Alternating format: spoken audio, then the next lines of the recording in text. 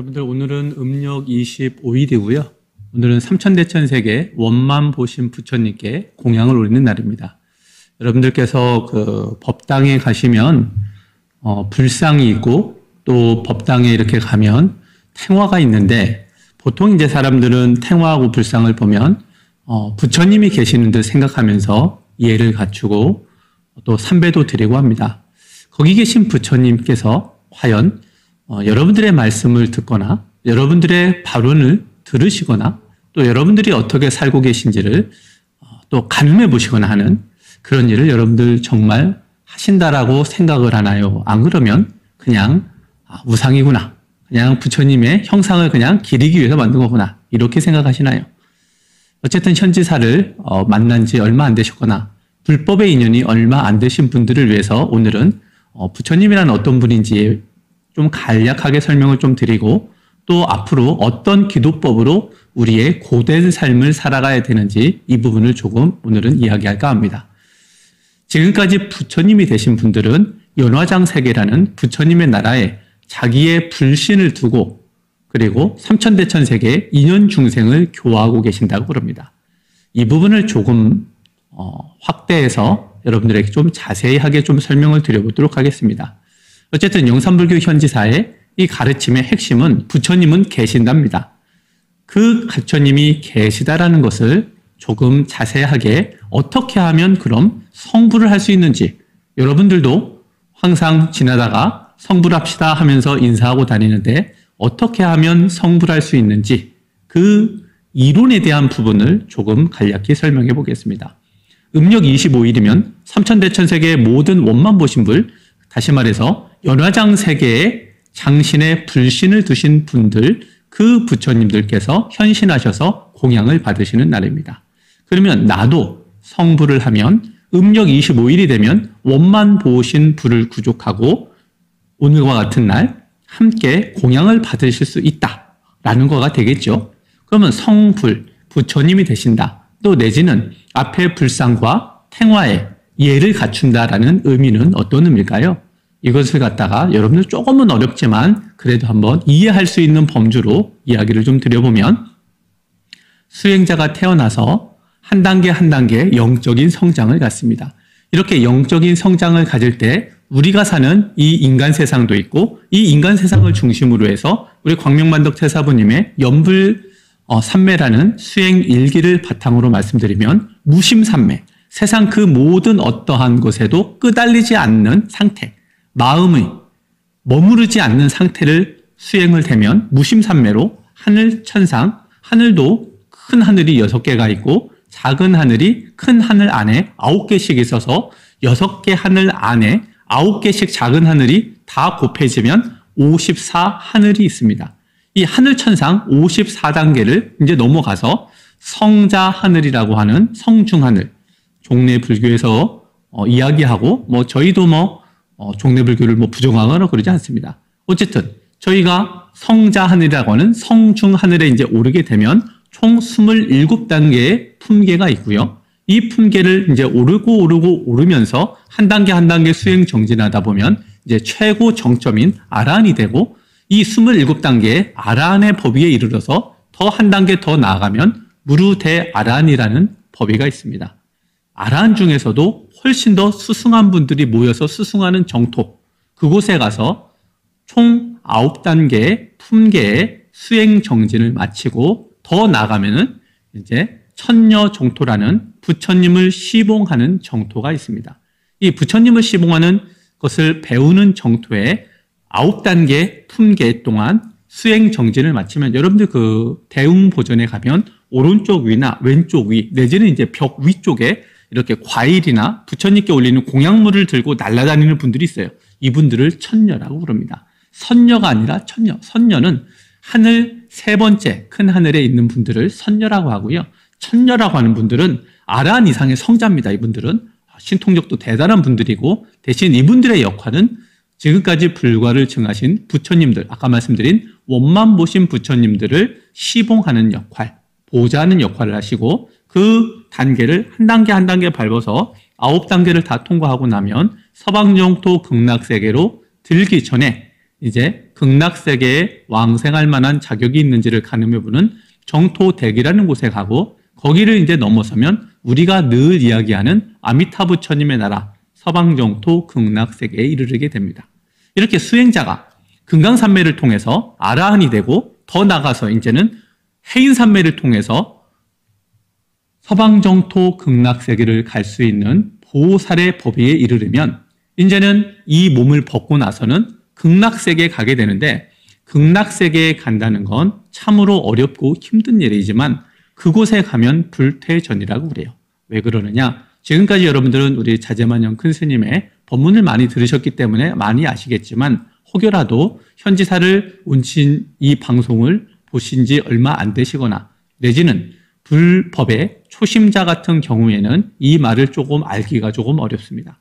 어쨌든 서방 정토 극락세계에 가려면 부처님의 절대하신 타력의 힘이 필요합니다. 자력으로 깨우치는 정도만 대거하고 금강산매만 든다고 되는 것이 아니고 해인산매만 본인 스스로 든다 해서 갈 수 있는 것도 아닙니다. 우리 부처님께서 어떻게 해주셔야 되냐면 우리 몸 안에는 영혼의 몸뚱이라고 하는 영체라고 하기도 하고 영혼체라고 하는 몸뚱이가 총 4개가 존재합니다. 그래서 이 4개는 어머니 뱃속에 들어갈 때 40대에 윤회하는 내가 총세 가지, 세 몸이 겹쳐진 상태로 들어가는데 우리 저희는 현지사에서는 편의상 1번 영체, 2번 영체, 3번 영체라고 그럽니다.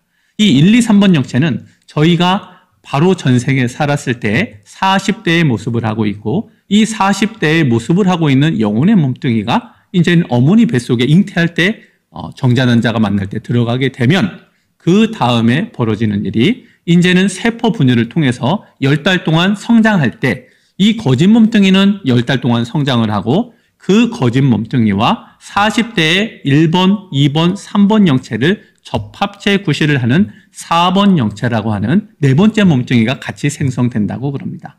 이 영혼의 몸뚱이가 같이 생성이 되면 결국 우리는 어떤 구조를 갖냐면 거짓 몸뚱이가 이렇게 인연 따라 만들어진 이 사바색에 적응하는 몸뚱이가 하나가 있고 그 안에 1, 2, 3번이라는 윤회하는 나, 진짜 나의 몸뚱이와 거짓 몸뚱이를 이번 생 접합체 구실을 하는 네 번째 몸뚱이가 있고 그 안에 세 번째, 두 번째, 첫 번째 몸뚱이가 겹쳐져서 들어가 있다. 여러분들 이해는 되시죠? 뭐 처음 듣는 분들은 좀 생소할 수 있지만 어쨌든 어, 영산불교 현지사에서 세상에 내놓은 영혼체설 윤회하는 주체는 바로 영혼의 몸뚱이다 하는 것을 여러분들한테 우리 어, 자제만영 큰 스님 또 더 스승님 되시는 광명만도 큰 스님께서 지으신 연불삼매나 또는 21세기 붓다의 메시지를 보시면 여러분들이 좀 더 명확히 아실 수가 있습니다. 어쨌든 이런 몸뚱이가 이 생을 다하고 나면 여러분들 이 거짓 몸뚱이는 벗죠. 그러면 이 안에 있는 영혼의 몸뚱이가 바깥으로 나와서 첫 번째 맨 가장 근본적인 몸뚱이라고 표현하겠습니다. 1번 영혼의 몸뚱이가 주가 되어서 두 번째, 세 번째가 겹쳐 들어간 다음에 서방정토 극락세계를 가는데 서방정토 극락세계에서 영원히 살려면 좀 다시 말해서 거기는 빛의 강도가 엄청 강하고 센 곳이라고 그럽니다.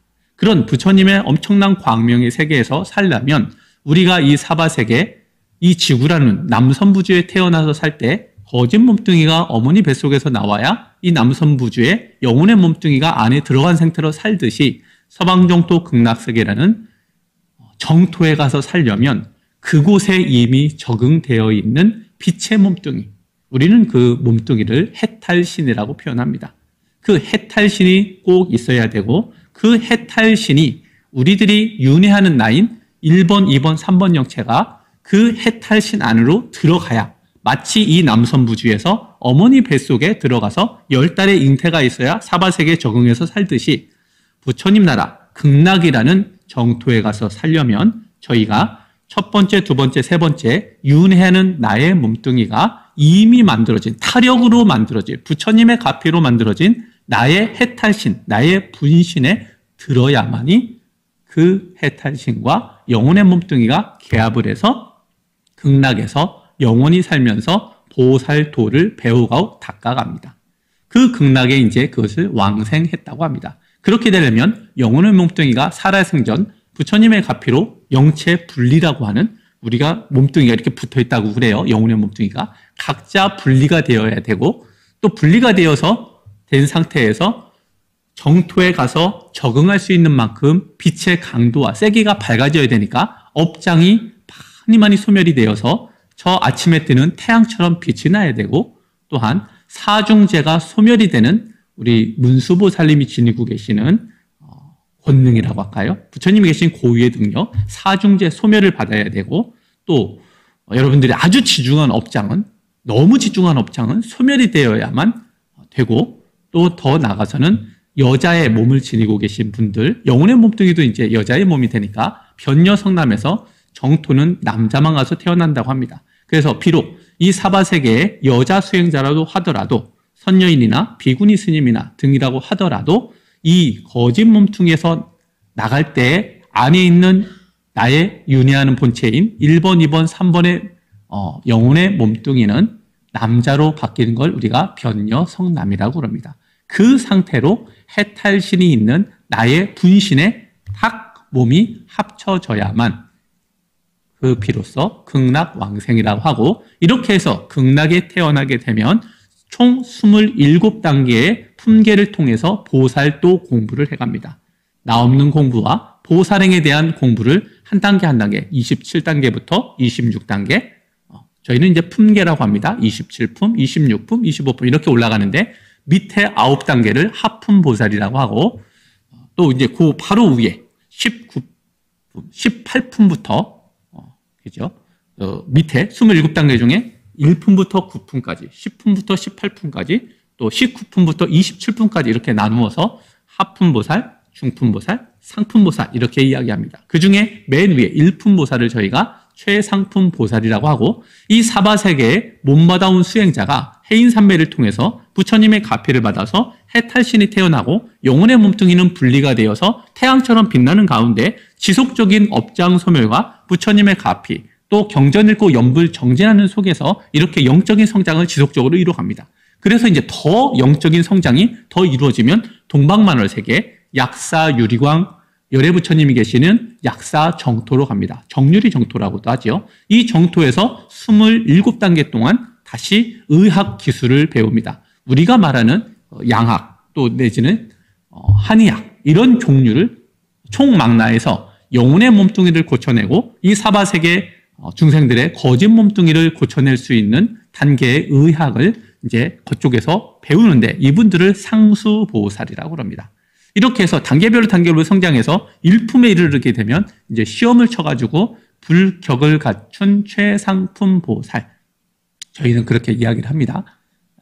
물론 이제 화엄경이나 이런 여러 경전에는 표현을 좀 달리하기도 하지만 이제 조금 저희가 표현을 하자면 불격을 갖춘 최상수 보살이라고 표현하는 그런 법위에 이르게 되고 그 법위도 상, 중, 하로 나누어서 이제 점점점 빛이 부처님의 빛, 부처님의 빛은 무량광이라고 하고 백종 오색광이라고도 하고 이렇게 경전에 많은 이야기가 나오지만 어쨌든 태양빛보다 한량없이 밝고 아름다운 빛인 부처님의 빛이 백이라고 했을 때 그 수행자가 내고 있는 어, 영혼의 몸뚱이가 그 수행자가 내고 있는 그 빛, 그 빛이 부처님의 이제 광명, 무량광이라고 하는 빛덩어리와 그 광도, 밝기가 같아져야 되고 세기가 같아져야 광도와 강도가 딱 같아지면 그 수행자가 이제는 삼매 들 때 대적정 삼매라고 하는 더 이상 없는 최고의 깨달음을 얻었을 때 드는 삼매를 듭니다.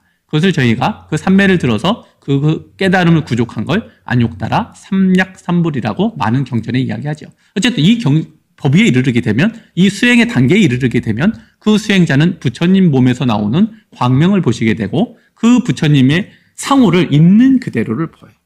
그래서 영산불교 현지사에 모셔져 계신 우리 부처님의 불상이나 팽화의 모습은 머리 깎고 계신 부처님의 모습입니다. 이유는 첫 번째가 영산 당시 석가모니 부처님께서 실제로 이 남선부주 중생 교화 하실 때 그 부처님께서 어, 보리수나무 밑에서 다시 한번 안욕따라 삼약삼보리를 이루시고 나서 당신 스스로 이 번뇌망상, 이 무명초라고 번뇌망상의 상징과 같은 이 무명초를 버려버리고 말 그대로 중생심, 욕심과 화냄과 어리석음으로 살아가는 중생의 마음에서 이제는 완벽히 벗어나서 오직 성자의 길, 나 아닌 남만 유지하고 언제나 베푸시는 자비의 마음만 지니신 부처님의 모습으로서 모든 능력을 구족하시고 중생 교화를 나가실 때 당신 스스로 머리를 깎고 또 사문이라고 해서 그곳에 출가하는 출가자들 또 이제는 중생들의 삶이 아니라 중생들의 반대삼, 성자의 삶을 살아야 된다고 해서 이 머리를 깎고 수행을 시켰어요. 그래서 스님들이 머리를 깎고 있는 거죠.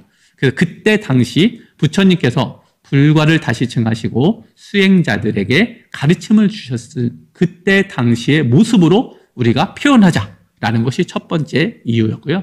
두 번째는 어, 전생에 가섭존자셨던 광명만도 큰 스님, 또 안한존자셨던 자제만영 큰 스님께서 불과를 증하시고 아까 말씀드린 대로 이제는 수행의 법위가 최고에 이르르니까 무량광으로 이루어진 부처님의 불신, 부처님의 모습을 있는 그대로 보니까 모든 부처님들은 머리를 깎고 계신 상호를 지니고 계시더라. 그래서 부처님은 계시다 라는 뜻이면서 동시에 영산 당시 부처님께서 번뇌망상 모든 출가자의 목표인 이제 해탈을 얻기 위한 어, 가르침을 해 나가실 때 머리를 깎고 사문을 어, 출가자를 받았듯이 그때 당시에 그 부처님께서 머리를 깎고 계셨던 그때 중생 교화하실 때 모습을 우리가 태화나 불상으로 담아야겠다. 라고 이렇게 저희는 생각을 해서 머리 깎으신 모습을 하고 있는 게 영산불교 현지사 부처님 상호의 모습의 특징이기도 합니다.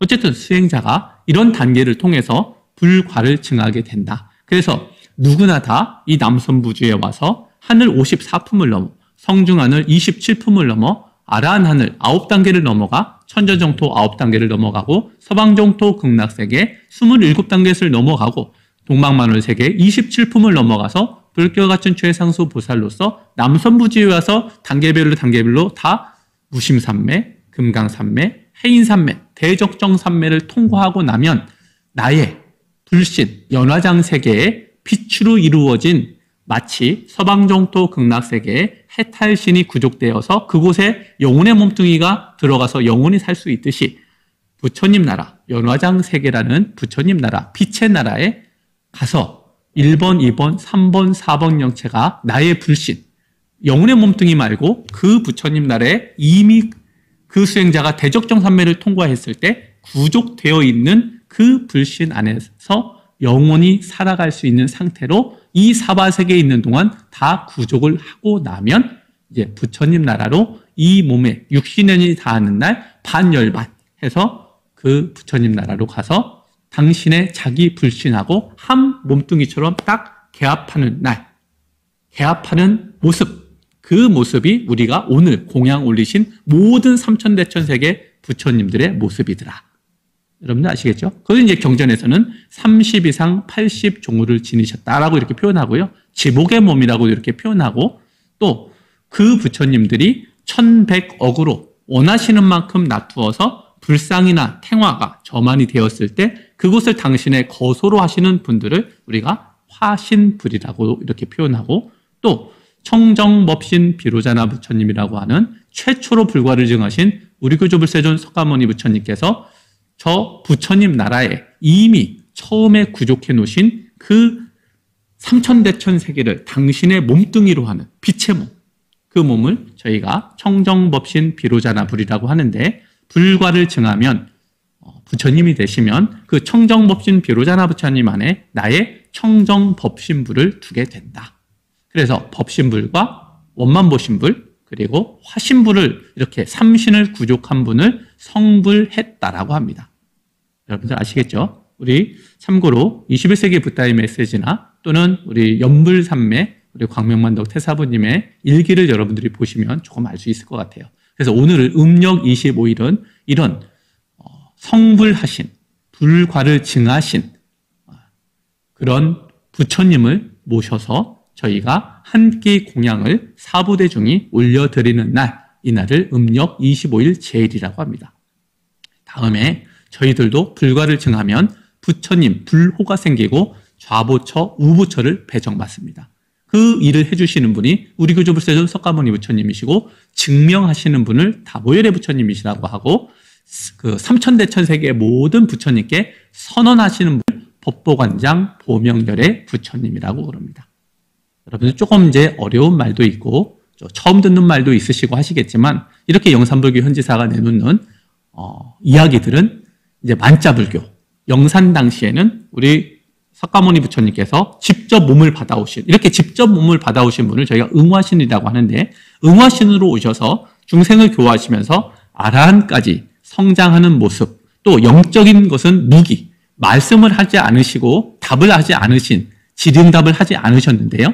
그런 질의 응답에 대한 그 부족했던 부분들을 이 21세기에 어, 가섭존자, 안한존자가 오셔서 만든 이 교단에서 지금 여러분들에게 하나하나 알려드리고 있는 이 교단이라는 점. 여러분들 조금 이제 어려운 말이기도 하지만 아, 좀 그렇게 하고요. 그다음에 오늘 제가 어, 어떤 공부를 해서 이 사바 세계를 살아가야 되는지 사실 이제 이 부분을 이제 말씀을 드리려고 시간을 좀 했는데 시간 관계상 어, 많은 말씀 드리기는 조금은 어렵고요. 제가 또 다음에 어, 음력 8일이나 음력 5일이나 2년 따라 또 여러분들에게 소참범을 하게 되면 그때 다시 조금 더 구체화돼서 예를 들어서 석가모니 부처님이나 뭐 다보열의 부처님은 업장 소멸을 위해서 하시는 부처님 공부 또 속세를 살아가는데 보통은 우리 관세음 보살님이나 그 병고가 있는 분들은 약사 부처님 그리고 뭐 속세 소원이 깊은 인연이 있으실 인연을 맺으셔야 되는 분들은 관세음보살님이나 지장보살님 공부를 통해서 저희가 속세 소원을 성취를 이루어가는데 아, 조금 더 구체적이고 자세한 얘기는 다음 소참 법문 때 하기로 하고요. 자, 마지막으로 부처님의 말씀을 전하면서 어, 여러분들 마무리해 보겠습니다. 제가 생각보다 조금 빨리 해서 여러분들 좀 더 많은 얘기를 좀 해드리려고 그랬는데 어, 시간 관계상 어, 예전 영산 당시에 부처님께서 중생들이 가져야 될 이익에 대한 부분을 이렇게 법문하신 적이 있습니다. 부처님께서 범천왕이라는 분에게 이런 말씀을 하신 적이 있습니다. 고, 그 고통을 없애고 모든 악을 벗어나 탐욕을 떠나 자유를 얻고 은혜와 사랑의 굴레를 벗어나 지혜로서 법을 전하느니라. 나의 이익을 얻기 위해서 전함도 아니고 명예를 얻기 위해서 전하는 것도 아니고 오직 중생을 가엽게 생각하여 지혜로서 법을 전하느니라. 다시 말해서 부처님께서 어, 우리만 부처님 법을 알고 있지 말고 한 중생이라도 한 사람에게라도 부처님의 말씀을 전하기를 바라십니다. 그것은 나의 이익도 아니고 나의 명예를 위해서도 아니고 오직 중생을 가엽게 생각해서 지혜로서 법을 전하는 일이 아주 중요하다. 그게 결국은 중생들의 이익이 되고 나의 진정한 이익이 된다. 여러분들 한 사람이라도 한 중생이라도 불법으로 이끌어서 그 중생이 남은 삶을 바르고 착하게 살아보고자 했으면 합니다. 자, 여러분들 그 올해 달력에 광명만덕 태사부님의 연불삼매일을 보면요. 부처님의 법은 진실하여 법답고 믿고 따를 수 있는 정법이니라. 게으르지 말고 의심하지 말아라. 부처님 법은 진실하여 법답고 믿고 따를 수 있는 정법이니라. 게으르지 말고 의심하지 말 의심하지 말아라. 또 여러분들 여러분들 달력에 다 있습니다. 세상은 늪지대 같아 나를 버리기 쉬우니라. 삿된 마음 일어나면 스스로 경계하고 따르지 말아야 하느니라. 여러분들 이제 착하라고 왜 불법을 만나서 공부합니까? 그러면 착해지라고. 여러분들 사실 이 부분을 조금 더 길게 설명할 수도 있지만 아, 시간 관계상 부처님 말씀만 그대로 전하겠습니다. 삿된 마음이 일어나면 스스로 경계하고 따르지 말을 줄 알아야 된다. 또 부처님 공부하는 목적은 착해지려는 데 있다. 부처님 가르침은 진실하고 참된 길이다. 이 연불산매 우리 광명만도 큰 스님께서 부처님께서 직접 하신 말씀을 듣고 적으신 것을 저희가 간략하게 어, 저희 요 달력에다가 옮겨놓은 겁니다. 부처님 공부를 하는 목적은 착해지려는 데 있다. 부처님 가르침은 진실하고 참된 길이다. 자, 끝으로 남에게 베풀 때는 두가, 두 마음 갖지 말고 기쁜 마음으로 주게나. 좋은 것은 남을 주고 나쁜 것은 내가 갖는 것이 착한 것이다. 남에게 베풀 때는 두 가지, 두 가지 마음, 두 마음 갖지 말고 기쁜 마음으로 주게나. 좋은 것은 남을 주고 나쁜 것은 내가 갖는 것이 착한 것이네. 여기서 두 마음이라는 건 주어서 기쁜 마음 외에 줌으로써 내가 이익을 얻으려는 마음은 내려놓아야 된다. 순수하게 그 사람을 위해서 줄줄 알아야 된다. 그래야 착한 사람이다. 자, 여러분들 우리 착한 사람 돼서 성불해서 우리 부처님 나라에 자기 부따를 부족한 성불한 큰 수행자, 대수행자가 되도록 노력합시다. 자, 마치겠습니다. 다음 시간에 또 인연 따라 뵙겠습니다. 자, 연불합시다.